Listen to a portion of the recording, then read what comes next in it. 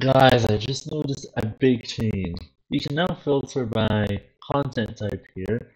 If I do live stream, for example, that would be zero because it couldn't find any live stream. Move on to shorts, which is obviously first after live streams. I found recently that well, three of my videos blew up for some reason, like this one, this one, this one. All this blew up for any reason I could think. Uh, what happened to this one there? I just check this one. And that's what I can do.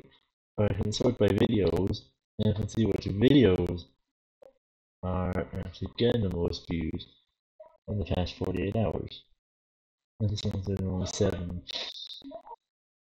Hi, that's enough.